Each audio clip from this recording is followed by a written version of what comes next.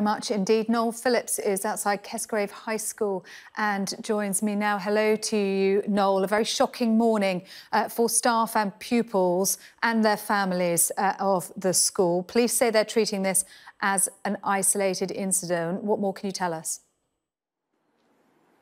That's right. So I'm not outside the school. The school's about a four minute walk from where I'm standing. I'm standing at the scene of where this shooting took place just after 8.40 this morning. And as Katie was saying there, the police have confirmed that this is an isolated incident.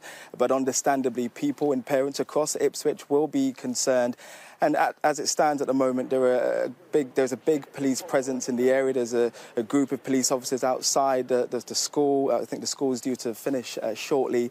We understand only year 9 and year 11 pupils are currently in school. And we spoke to a parent who I think she arrived at 45 minutes before the school bell to try and pick up her son. And she said as she dropped her son off this morning, she heard of the news. She went to work and subsequently she said, obviously, this is shocking. This is a very quiet place. It's a, in some ways a sleepy town where they don't tend to get much police activity. Nonetheless, a shooting in itself has caused a lot of distress and concern uh, to people. She made the point that, like her like children here and across the country, the kids have been off school for a long time. She believes in some ways this may be uh, some sort of altercation that has gone wrong, but that's not down for us to speculate. But it gives you a sense there as to uh, as to how she's feeling that these sort of attacks, random, you know, aren't random in, in places like this. And she's there. She said she's going to get her son. She's going to take him home and talk to him. But the school have been emailing parents throughout the day, informing them of what's happening and trying to provide that reassurance that despite despite the fact that one of their classmates had been shot whilst making their way to school this morning,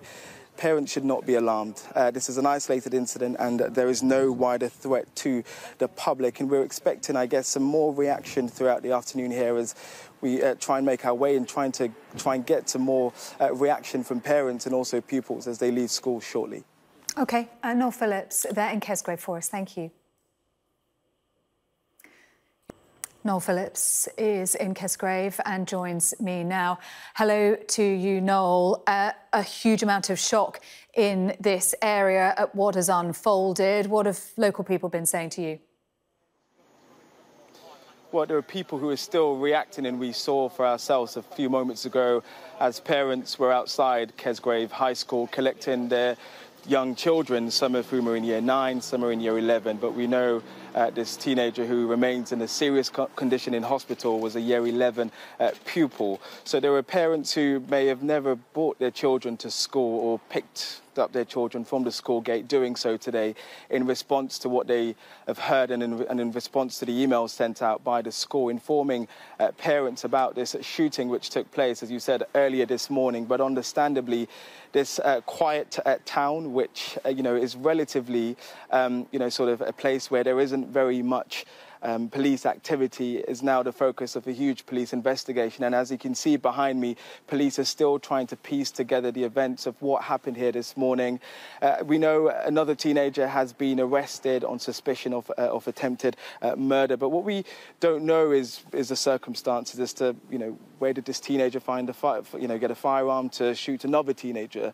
or indeed how and why did this happen. There are parents who did make the point that pupils have been off you know school for a long time. It's you know since the coronavirus lockdown. There, are, you know, it was her son. There was this one parent telling me it was her son's first day back on Monday, and this has only left a lot of parent, parents very anxious. And we heard from Assistant Chief Constable uh, Rob Jones uh, speaking where I am a few moments ago, reassuring the community across Ipswich that this is an isolated incident and there is no wider threat to the public. But you speak to people in this community and they are worried, they are concerned. And I say once again, that is because shootings aren't a regular thing in places like this.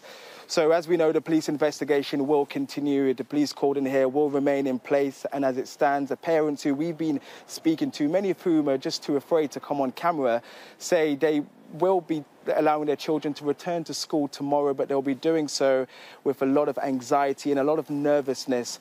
And indeed, we'll be watching as the day goes on to see if there's any more developments. But as it, as it stands, this teenager remains in a serious condition in hospital. Well, thank you.